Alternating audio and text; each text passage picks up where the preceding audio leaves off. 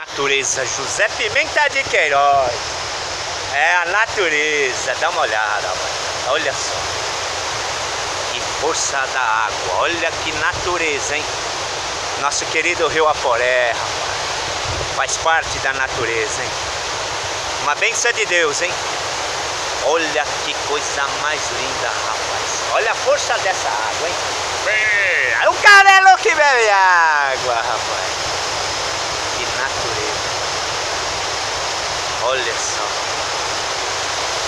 Que natureza, hein, rapaz? É a natureza de Deus, rapaz. A força da natureza.